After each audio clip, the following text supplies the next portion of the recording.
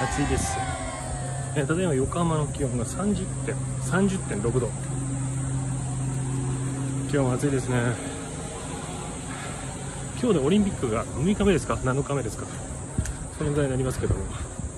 今日はですねコロナのワクチン接種に行ってみたいと思います。メニューで偶然ファイザーの横浜事業所を見つけた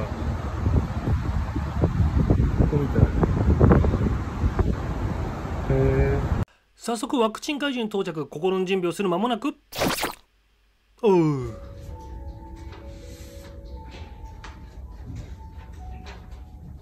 見られてますけど今ワクチン終わりました。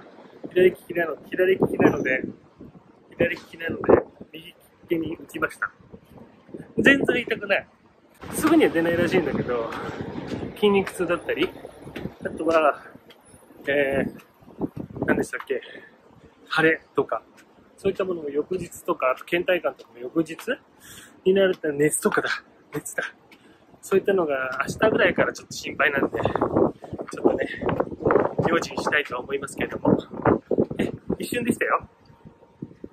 というわけで続きは6時間。あれから6時間が経ちました。でですね打ったのがこちら。になんですけど全然腫れとかも特にないかなとは思うんですけども全然平気だったんですけどちょっとこの時間になってから手が重いなっていうかなんか筋肉痛とかみんな言うけども筋肉痛というよりもなんかね熱を持って重たくなった感じ。ズドンと重い感じがします。それ以外は全然他の熱とかも出てないしうん寒気とかもないし頭痛とかもないので大丈夫そうです。このまま継続して様子を見ていきたいと思います。どうも。えー、ただいま午前3時ちょっと過ぎです。えっと今までずっと普通に全然出れたったんですけどやっぱりあの注射をした。腕が。うーんとね痛くてですね。起きてしまいまして。熱は測ってみたら36度6分ということなので、まあ、普通の人からしてみれば平熱なんでしょうけど普段が35度なの35度台後半なのでちょっと普段よりポワンとしてるかなっていう感じはします。はい。それ以外はあの頭痛とか、うん、悪寒とか倦怠感とか特にはないです。ちょっとあの寝返りが打ちづらいんですけどまたちょっと寝たいと思います。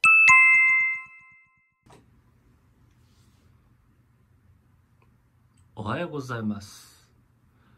朝の7時です。相変わらず右腕が痛いですけどもそれ以外は特に変わりません。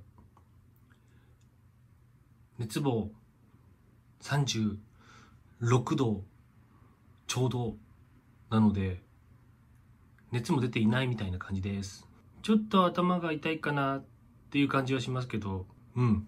全然気のせいだと思うぐらいのレベルです。はい。というわけでですね今ただいま24時間経ちました。ちょうど24時間経ちました。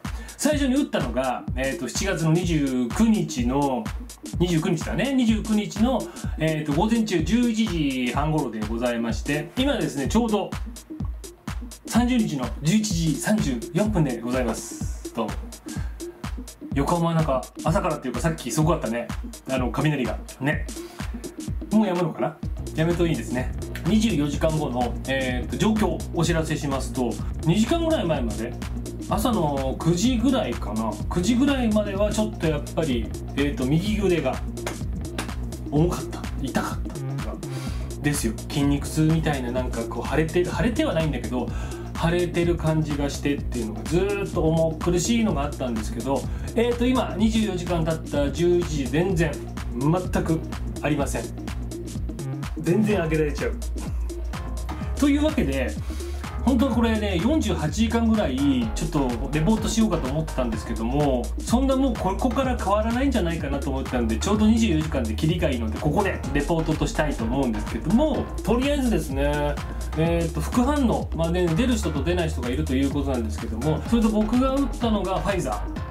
でファイザー製だったのでまあまあまたファイザー製とねモデルナ製でいろいろ副反応とかも若干違うということなので参考になるかなどうなんだろうなって思うんですけどもまあ、まあ、ファイザー打つ方もこれからもまだいらっしゃると思うんで何かねちょっと24時間でこんな感じなんだなっていうのがお伝えできればと思って記録しました。であとはね次はねえっ、ー、とファイザー製なんで3週間後になるのかな。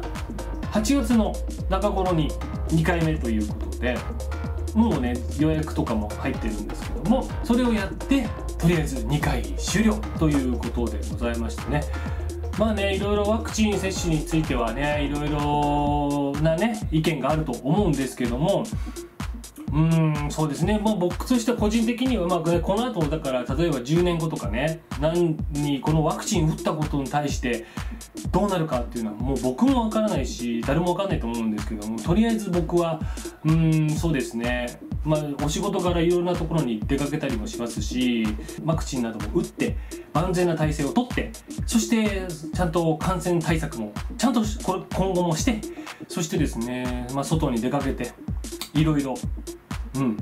いろんなものを見たり聞いたりしたいなと思っているので打てるものだと思って打ってみました。2回目っていうのがまたねもっとあの副反応とかが激しく出るというような話もあるので2回目もねあのできたらえ2回目も24時間ちょっと追っかけてみたいなと思うんですけどもどうなんでしょうかね。まあちょっと誰かのうんどこかの誰かの参考になれればと思いまして撮ってみました。